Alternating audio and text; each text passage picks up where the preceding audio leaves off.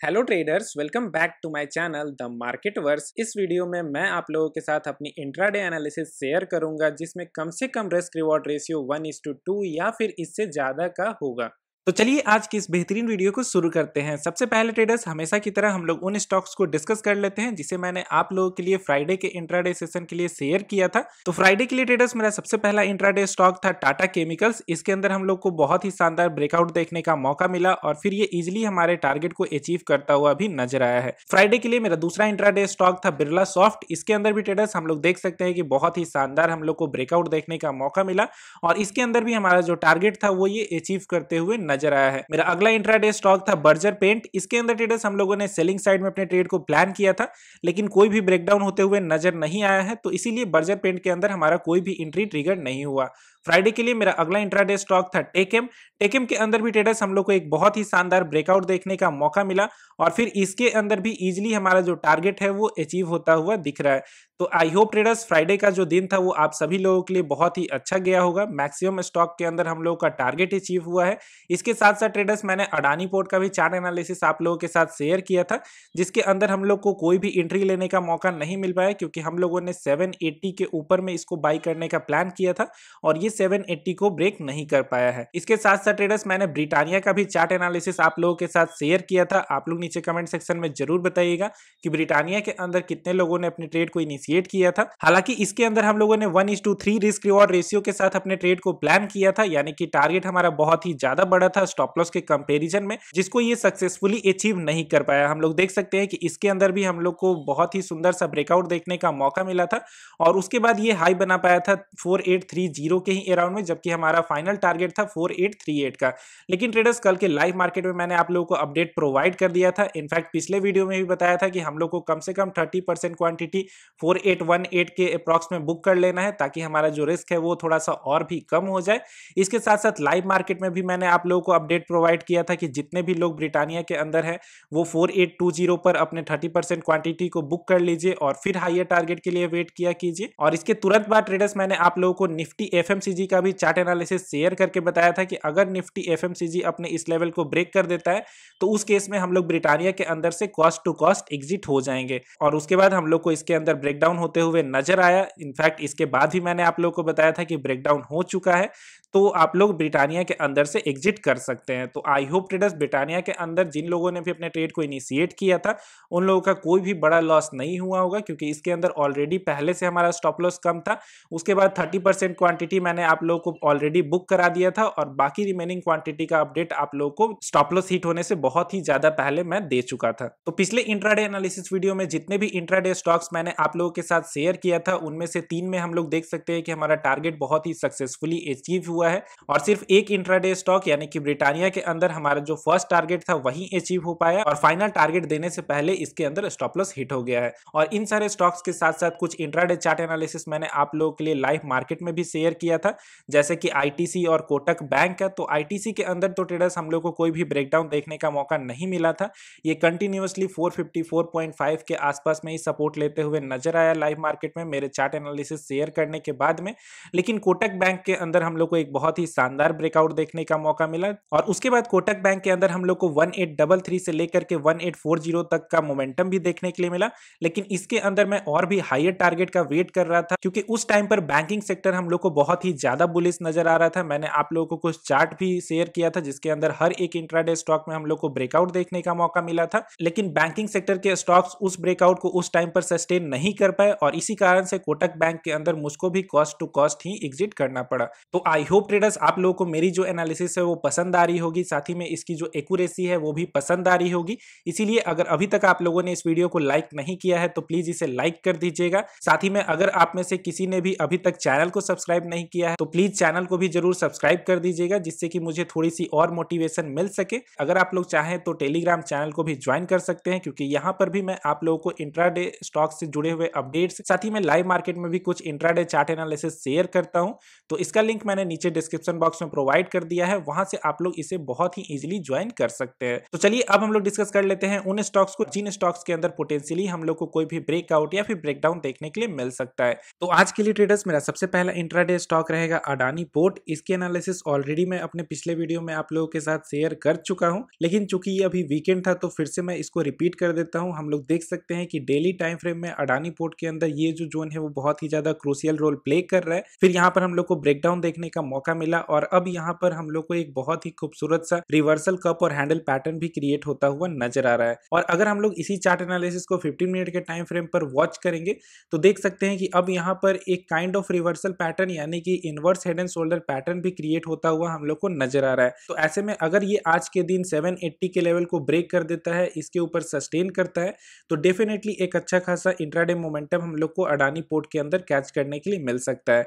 तो इसीलिए traders Adani port को एक बार फिर से आप लोग आज के लिए अपने रडार पर रखिएगा। आप लोग देख सकते हैं कि इस टारगेट पर भी हम लोग one is to two risk reward ratio बहुत ही इजिली अचीव कर सकते हैं।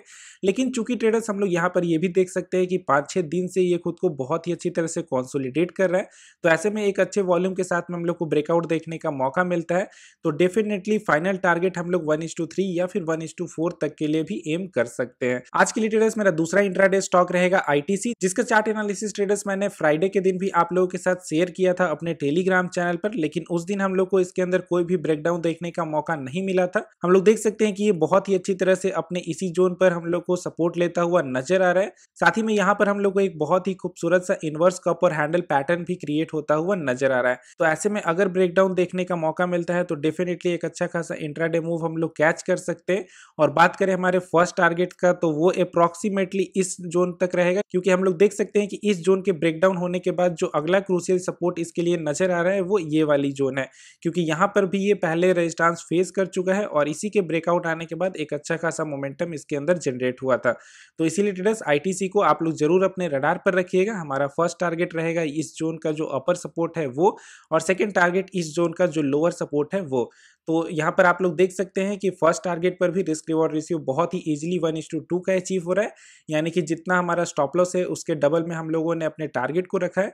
तो अगर आप लोग चाहे तो फ़र्स्ट टारगेट पर भी कंप्लीट प्रॉफिट इसके अंदर बुक कर सकते हैं। और आज के लिए ट्रेडर्स मेरा अगला इंट्राडे स्टॉक रहेगा आईजीएल आईजीएल के अंदर ट्रेडर्स बहुत ही शानदार एनालिसिस निकल करके सामने आ रही है। सबसे पहली चीज़ तो ये कि अगर हम लोग इस ट्रेन लाइन को वॉच करें तो देख सकते हैं कि ये अपने इस ट्रेन लाइन पर बहुत ही अच्छी तरह से रेजिस्टांस फेस कर रहा था बार बार यहाँ से अगर हम लोग एक और ट्रेन लाइन ड्रॉ करते हैं तो देख सकते हैं कि ये बहुत ही अच्छी तरह से एक चैनल पैटर्न में खुद को मोमेंटम कर रहा था। लेकिन अब कहीं ना कहीं इस लोअर जोन पर आकर के यहाँ पर कॉन्सोलिडेशन हुआ है। हम लोग देख सकते हैं कि खुद को बहुत ही अच्छी तरह से इस रेक्टेंगुलर पैटर्न में कॉन्सोलिडेट कर रहा है। साथ ही हम लोग ये भी देख सकते हैं कि जब इसके अंदर सेल ऑफ़ देखने के लिए मिल रहा था तो डाउन साइड में वॉल्यूम हम लोग को बहुत ही ज़्यादा स्ट्रॉन्ग नज़र आ रहा था। लेकिन अब यहाँ पर इस रेक्टेंगल जोन में हम लोग देख सकते हैं कि हाइयर वॉल्यूम जो है वो बाई साइड में देखने के लिए मिल रहा है। इसका मतलब ये है कि यहाँ पर ये एक रिवर्सल लेने का ट्राई कर रहा है। डबल बॉटम पैटर्न भी हम लोग को क्रिएट होता हुआ नज़र आ रहा है। तो इसीलिए ट्रेडर्स अगर आईजीएल के अंदर आज हम लोग को कोई भी ब्रेकआउट देखने का मौका मिलता है तो डेफिनेटली हम लोग तीन तीन कंफर्मेशन के साथ इसके अंदर अपने ट्रेड को इनिशिएट कर सकते हैं। तो इसीलिए ट्रेडर्स आप लोग आईजीएल को भी ज़रूर आज के लिए अपने रडार पर रखिएगा। लेकिन ट्रेडर्स चूँकि इसके अंदर हम लोग ट्रिपल कंफर्मेशन के साथ जा रहे हैं तो आईजीएल के अंदर भी बेटर चांसेस है कि हम लोग और भी higher risk reward ratio plan कर सके।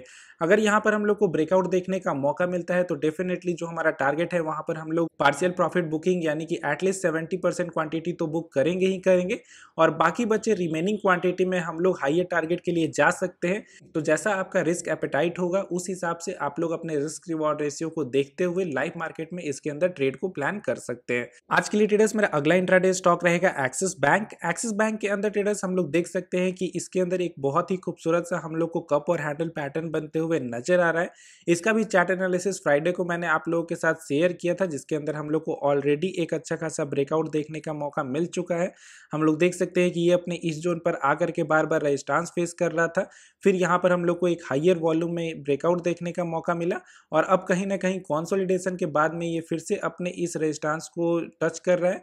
तो ऐसे में कल अगर ये अपने इस कप और हैंडल पैटर्न के नेकलाइन को ब्रेक कर देता है तो डेफिनेटली एक अच्छा खासा इंट्राडे मूव हम लोग को एक्सिस बैंक के अंदर भी देखने के लिए मिल सकता है। इसका भी लेवल्स मैंने आप लोग के लिए यहाँ पर मेंशन कर दिया है। और कल के लिए ट्रेडर्स मेरा अगला इंट्राडे स्टॉक रहेगा टाटा कम्युनिकेशन इसके अंदर ट्रेडर्स हम लोग देख सकते हैं कि बहुत ही खूबसूरत सा हम लोग को हेड एंड शोल्डर पैटर्न बनते हुए नज़र आ रहा है। ये दोनों हम लोग देख सकते हैं कि ये इसका लेफ़्ट शोल्डर हो गया, ये इसका राइट शोल्डर हो गया और बीच में ये हेड का काम कर रहा है। तो ऐसे में कल अगर ये अपनी इस नेकलाइन को ब्रेक करता है तो डेफिनेटली एक अच्छा खासा इंट्राडे मूव हम लोग टाटा कम्युनिकेशन के अंदर भी कैच आउट कर सकते हैं। तो इसीलिए ट्रेडर्स टाटा कम्युनिकेशन को भी आप लोग अपने रडार पर ज़रूर रखिएगा। लेकिन इसके अंदर मेरा सजेशन यही रहेगा कि चूँकि वॉल्यूम अभी बाइंग साइड में हम लोग को अच्छा खासा देखने के लिए मिल रहा है। तो जब तक प्रॉपर ब्रेकडाउन नहीं आए, यानी कि कम से कम 15 मिनट के कैंडल का क्लोजिंग का आप लोग वेट कर लीजिएगा। और अगर ये अपने एक भी 15 मिनट कैंडल का क्लोजिंग अपने इस सपोर्ट के नीचे में दे देता है तो डेफिनेटली एक अच्छा खासा इंट्राडे फॉल हम लोग को टाटा कम्युनिकेशन के अंदर भी देखने के लिए मिल सकता है। तो ट्रेडर्स आज के लिए आप लोग इन पाँचों इंट्राडे स्टॉक को अपने रडार पर रख सकते हैं। इन पाँचों के अलावा भी और भी ऐसे स्टॉक है जो ऑलरेडी मेरे रडार पर है, लेकिन उसकी एनालिसिस में आप लोगों के साथ शेयर नहीं कर रहा हूँ, क्योंकि मैक्सिमम लोग अभी भी बहुत ही सारी बेसिक गलतियाँ कर रहे हैं। कुछ पर्सनल फैमिली रीजन के कारण ये जो वीडियो है वो मैं आज अपलोड कर रहा हूँ आप लोगों के लिए। नहीं तो मैंने संडे के दिन आप लोगों के लिए एक लाइव वेबिनार भी प्लान किया हुआ था, जिसको हम लोग डेफिनेटली इस वीक में कंप्लीट करेंगे, जिसके अंदर मैं आप लोगों को बताऊँगा कि कौन कौन सी ऐसी गलतियाँ हैं, जो इंट्रा ट्रेडिंग के अंदर आप लोगों को बिल्कुल भी रिपीट नहीं करना है, और जिससे आप लोग अपने प्रॉफिट को और भी ज़्यादा मैक्सिमाइज कर सकते हैं और लॉसेज को और भी ज़्यादा कम कर सकते हैं। और ट्रेडर्स मेरा सेशन तो यही रहेगा कि अभी मार्केट दो दिन से बंद था तो मॉर्निंग सेशन में हो सकता है कि बहुत ही ज़्यादा वोलाटिलिटी हम लोग को देखने के लिए मिले। तो आप लोग हर एक इंट्राडे स्टॉक के अंदर प्रॉपर ब्रेकआउट का वेट कीजिएगा। अगर बहुत ज़्यादा वो gap up opening gap down opening देखने के लिए मिलता है तो आप लोग ट्रेड को इग्नोर भी कर सकते हैं, या रीटेस्टिंग कन्फर्मेशन के साथ उसके अंदर अपने ट्रेड को प्लान कर सकते हैं, जब अच्छा वॉल्यूम आप लोगों को देखने के लिए मिलेगा ट्रेड के डायरेक्शन में। और अगर इन सारे स्टॉक में कोई भी मोमेंटम नहीं देखने के लिए मिलता है ब्रेकआउट ब्रेकडाउन नहीं आता है तो इन सब के अलावा भी और भी ऐसे स्टॉक है जो ऑलरेडी मेरे रडार पर है, जैसे कि एसबीआई कार्ड क्योंकि इसके अंदर हम लोग को वन आवर के टाइम फ्रेम में एक बहुत ही खूबसूरत सा कप और हैंडल पैटर्न बनते हुए नज़र आ रहा है। साथ ही में टाटा कंज्यूमर क्योंकि यहाँ पर भी एक अच्छा पैटर्न क्रिएट होता हुआ नज़र आ रहा है।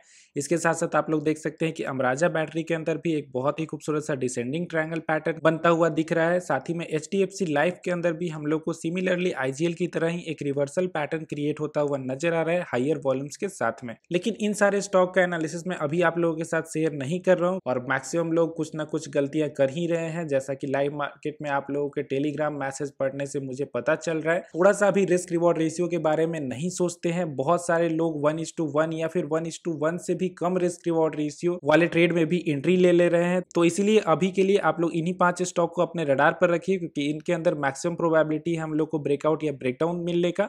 और मैं आप लोगों को फिर से हमेशा की तरह रिपीट करना चाहूँगा कि ट्रेडर्स हमारा मकसद यही होना चाहिए कि पूरे दिन में हम लोग को सिर्फ़ एक या दो बेहतरीन इंट्राडे ट्रेड मिल सके। और जैसा कि ट्रेडर्स मैंने इस वीडियो को दो बज के तेरह मिनट पर बनाना शुरू किया था और अब ये वीडियो जाकर के दो बज के चालीस मिनट पर कंप्लीट हुआ है। तो आज की ये जो वीडियो है वो मैं आप लोगों के रिक्वेस्ट पर ही बना रहा हूँ क्योंकि आप से बहुत सारे लोगों ने यूट्यूब पर टेलीग्राम पर इनफैक्ट व्हाट्सएप तक पर मैसेज किया कि, सर, आज के लिए एनालिसिस वीडियो कहाँ है? तो आज का जो ये वीडियो है वो कोई भी सब्सक्राइबर गेन के लिए मैं नहीं बना रहा हूँ। आज की ये वीडियो बस उन लोगों के लिए है जो अपने पूरे दिल से मुझे सपोर्ट कर रहे हैं और जिनको मेरी वीडियोस बहुत ही ज़्यादा पसंद आती है। तो इसी के साथ ट्रेडर्स हम लोग आज की अपनी इस वीडियो को खत्म करते हैं। आई होप आप लोगों को ये वीडियो पसंद आई होगी। और जैसा कि आप लोग देख सकते हैं कि तीन बज चुका है और लाइव मार्केट में भी आज मैं थोड़ा सा बिज़ी रहूँगा। लेकिन फिर भी मैं अपनी पूरी ट्राई करूँगा कि आप लोगों को लाइव मार्केट में भी प्रॉपर अपडेट्स रीजन के साथ में प्रोवाइड कर पाऊँ। तो इसके लिए आप लोग टेलीग्राम चैनल को ज़रूर ज्वाइन कर लीजिएगा। धन्यवाद।